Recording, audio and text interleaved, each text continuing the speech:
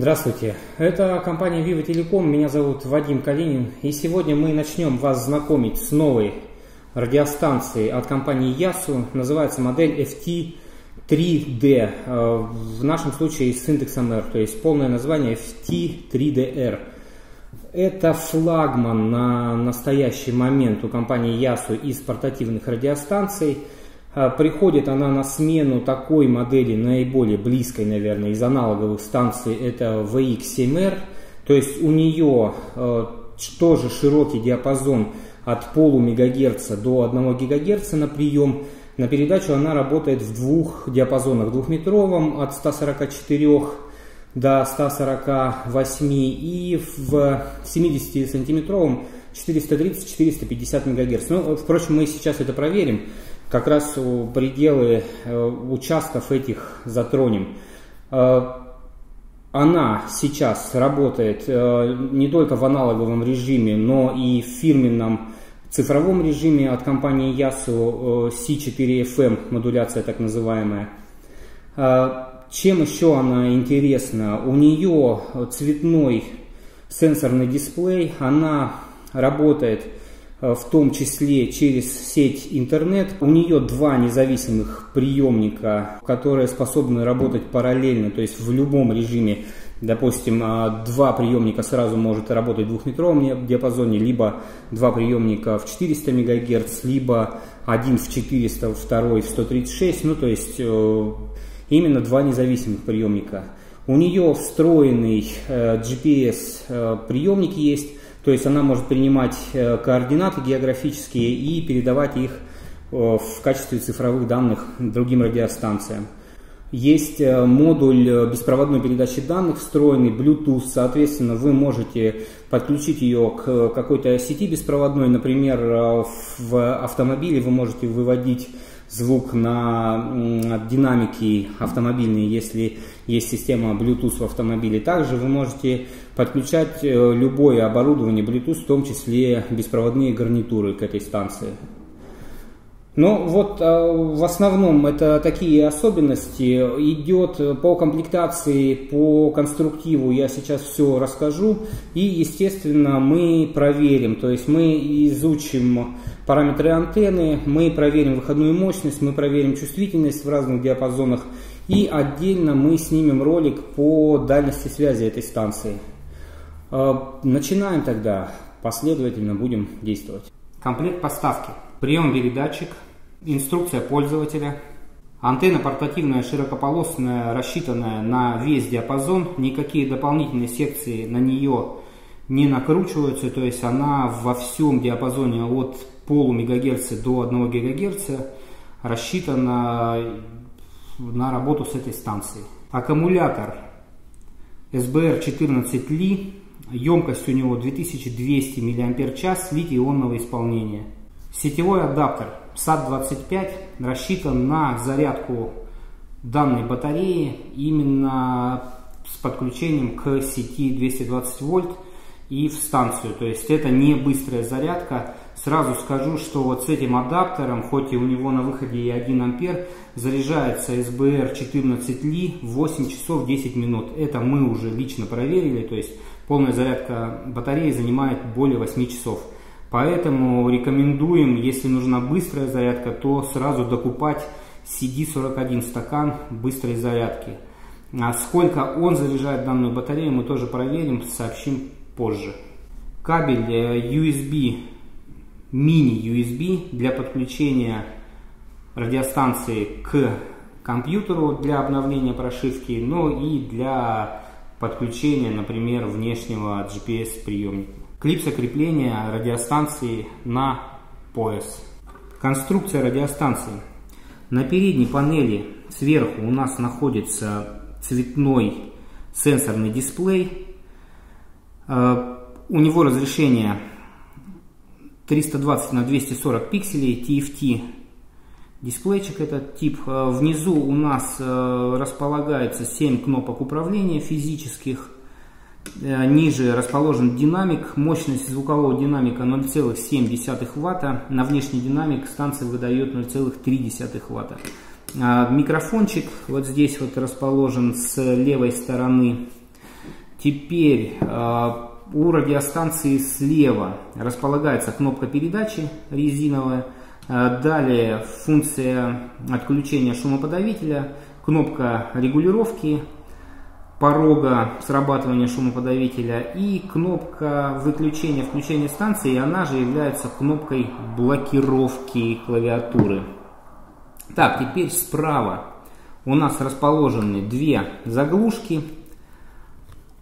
Одна из них э, служит для подключения э, радиостанции к компьютеру, для подключения гарнитуры MH85 с видеокамерой – либо для а, подключения внешнего GPS приемника. Далее у нас находится выше слот для карты памяти microSD.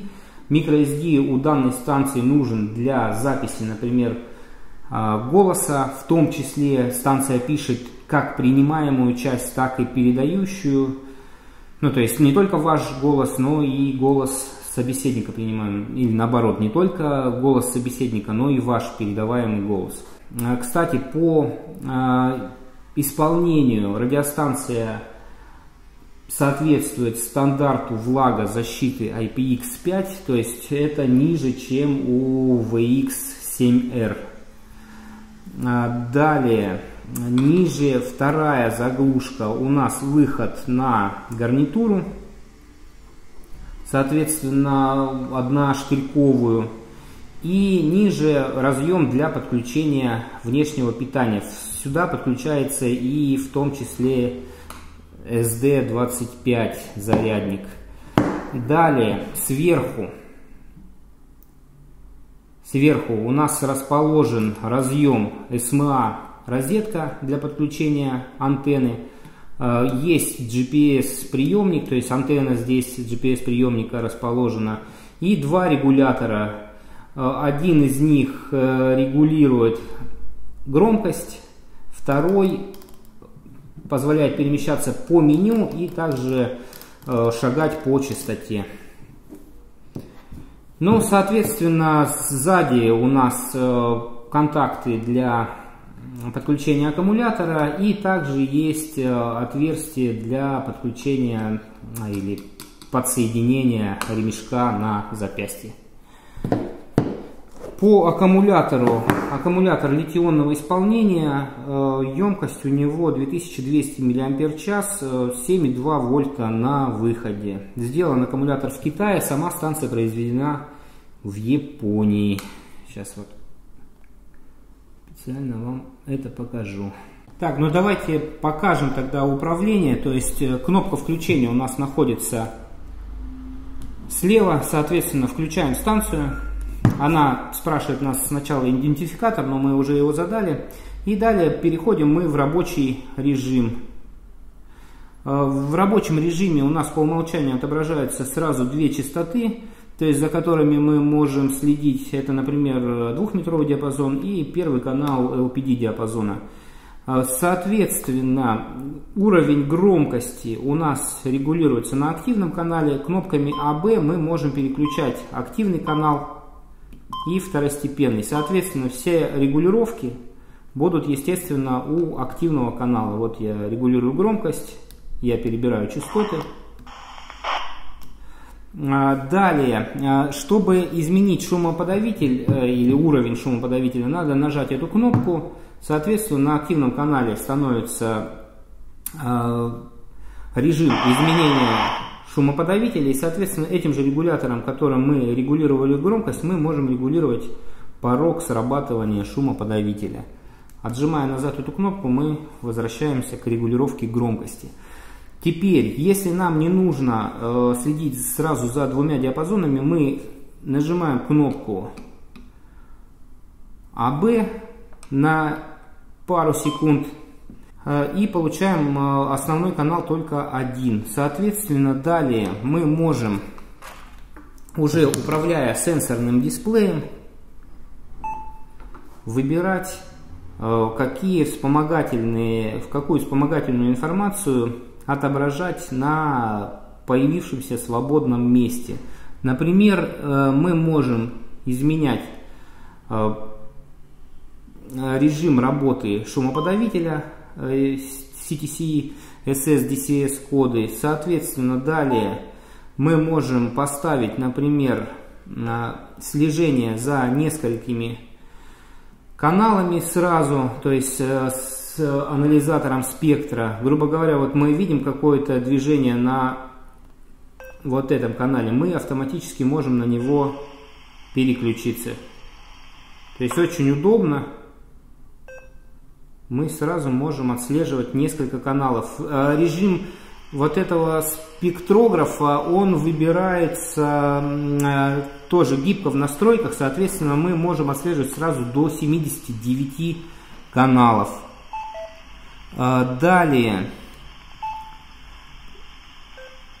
допустим, э, если нам нужно изменить частоту, то мы можем нажать на целые числа частот и переключиться, например, на какую-то другую частоту. Зачем я нажимаю э, с карандашом, чтобы не измазать дисплей и в ролике было, ну, дисплей был чистый. Естественно, все срабатывает и под пальца. Далее, э, соответственно, здесь режимов работы очень много. Вы можете также допустим, менять через появившийся дисплей выходную мощность станции. А, она выбирается из трех уровней. Соответственно, естественно, вы можете вернуться и на два диапазона сразу, а, можете работать только с каналами памяти, либо вводить э, частоты вручную. Также вы можете выбирать активный канал естественно, просто нажимая пальцем. Режим работы вы можете выбирать, нажимая кнопку мод. Давайте проверим выходную мощность радиостанции на двух диапазонах. Начнем тогда с двухметрового 136 я вам специально продемонстрирую, что она здесь на передачу не работает, работает только в любительском диапазоне. То есть я нажимаю, ошибка. Так, теперь 142, например, мегагерца мы введем, 142 800, 75.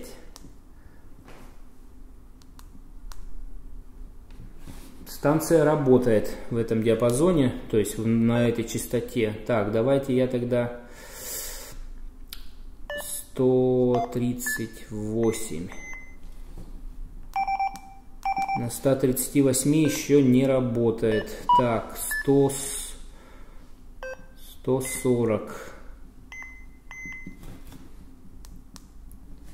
140 работает на передачу.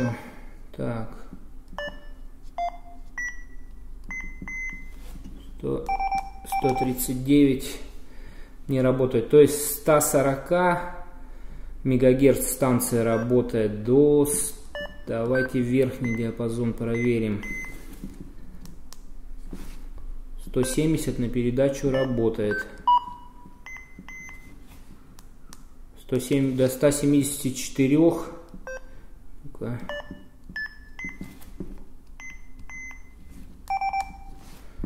до 174, то есть со 140 до 174 станция на передачу работает. Ну давайте будем мощность проверять тогда на 144, 250, например. Так, обращаем внимание на дисплей тогда. Я включаю на передачу станцию. 3,9 ватта. Это чуть ниже, чем заявленное, как ни странно. Так, давайте тогда переключаемся. Мощность, естественно, стоит большая. Давайте переключаемся на 400 мегагерц. На 400 она не работает. На 420. На 420 станция уже работает на передачу. Так. 410. Так, давайте 419. Мы сейчас с экспериментальным путем проверим. Но с 420 получается она работает на передачу до 470 работает. Да, в верхнем диапазоне станция работает от 420 до 470 МГц. Но давайте мы на 440, 590, на 440, 600, например, будем проверять. Это как раз середина диапазона между двумя любительскими LPD 433 и PMR 446. Смотрим, какая мощность будет здесь. 4 ватта, грубо говоря, ровно. Аккумулятор, напоминаю, полностью заряжен у станции. Ну, вы можете индикатор, кстати, видеть в верхнем левом углу. Но давайте перейду, например, на 420 и посмотрим в начале диапазона, какую мощность станция выдает. Но тут всего лишь 1,75 ватта. Так, и верхний диапазон, так, 470, она у нас... Кнопочки маленькие, иногда не попадаешь, конечно. Вот здесь всего полватта она выдает. Ну, то есть, э, заявлено производителем 5 ватт, выдает станция поменьше. 3,93 и здесь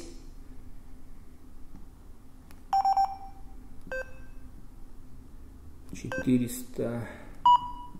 Давайте еще 433 075 введем, да, LPD первый канал.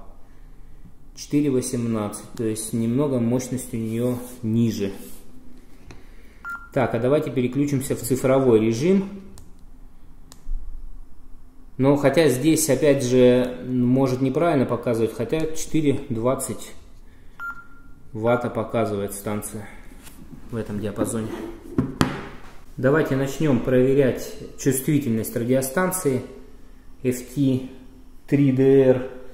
В диапазоне CB мы проверять не будем, потому что прибор у нас выдает генератор только частотную модуляцию, а станция работает только в амплитудной в диапазоне CB. Ну и чувствительность там всего 3 микровольта, поэтому особо там интересного ничего мы и не увидим. Давайте начнем с 50 мегагерц, то есть 53-100 мы поставили на станции, на генераторе также. Шумоподавитель мы полностью открыли, как вы видите. Зеленый индикатор говорит о том, что шумоподавитель открыт. Но давайте я тогда повышу сейчас громкость динамика и будем подавать с генератора сигнал Э, при, при значении в децибел э, в ваттах э, получим мы значение уже различимое на динамике, соответственно, это и будем считать уровнем открытия шумоподавителя по полезному сигналу. И из этого значения уже получим уровень чувствительности в микровольтах. Ну, давайте начинаем. Я динамик тогда открываю ну, в смысле громкость увеличиваю и начинаю увеличивать амплитуду сигнала.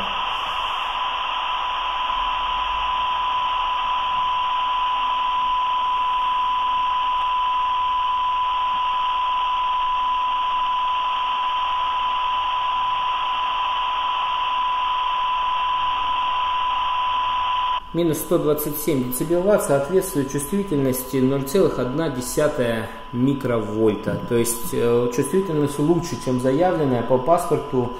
Здесь 35 сотых микровольта в этом диапазоне должно быть. Так, следующая частота 144-250 мы выбрали в двухметровом диапазоне. Давайте посмотрим, что сможет она. То есть громкость повышаю опять и начинаю увеличивать амплитуду сигнала.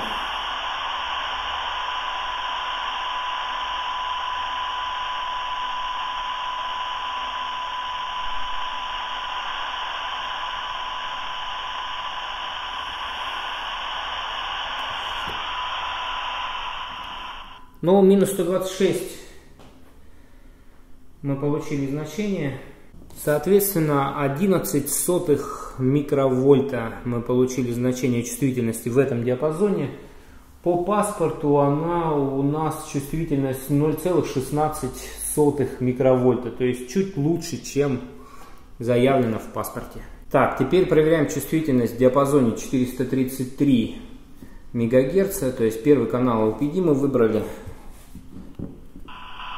увеличиваем громкость и начинаем увеличивать амплитуду сигнала.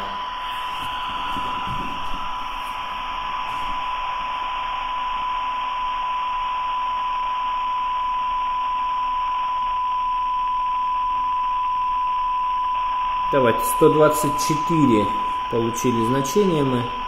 Так, это соответствует 14 сотых микровольта. По характеристикам производителя 18 сотых микровольта. Ну, то есть, фактически совпадает чуть лучше. Давайте тогда еще измерим в режиме вот таком. То есть, э, шумоподавитель поставлен на минимум. Посмотрим, насколько, на каком уровне сигнала сама станция откроет э, шумоподавитель. То есть посмотрим, какое значение чувствительности будет при этом.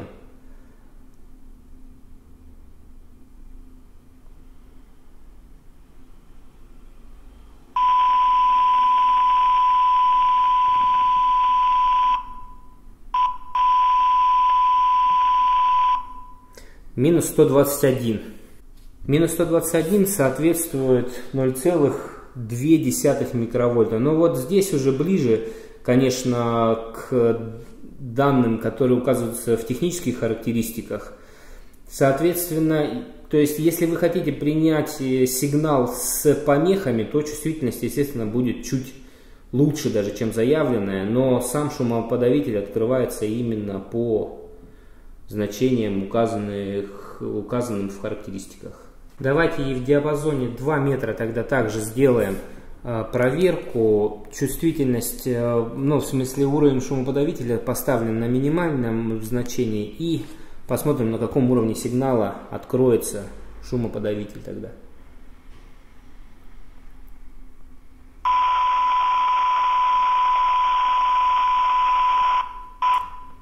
Минус 123. Минус 123 это 16 сотых микровольта. Соответственно, да, явно по характеристикам, которые указаны в документации соответствует. Давайте теперь проверять графики штатной антенны. На 50 МГц вообще резонанса у антенны нет, то есть КСВ больше 10, то есть антенна для этого диапазона не предназначена.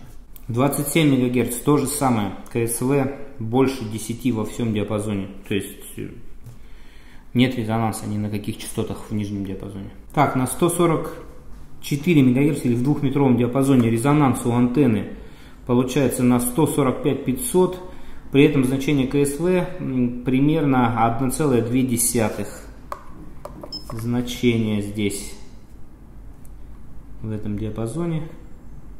Ну, 1,3 показывает, да. 430 МГц.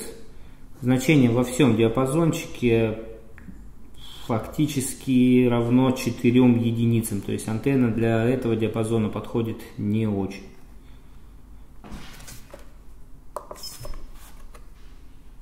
Четыре целых три десятых. Раз, два, три. Качество приема аналогового сигнала передаем с радиостанции FT70 DR. Прием. Частота 433.075. Первый канал LPD. Раз, два, три, четыре, пять, шесть, семь, восемь, девять, десять. Качество приема в цифровом режиме. Раз, два, три, четыре, пять, шесть, семь, восемь, девять, десять. Ну что, на этом первую часть обзора радиостанции Ясу FT3DR мы заканчиваем. Проверили мы работу в аналоговом режиме и цифровом, э, измерили чувствительность приемника в разных диапазонах частот и мощность выходной, также проверили антенну штатную. Антенна штатная, конечно, подходит только для диапазона двухметрового 144 МГц. Э, для диапазона 400 МГц она работает не лучшим образом, но это как у Ясу фактически всегда, антенны не очень штатные работают.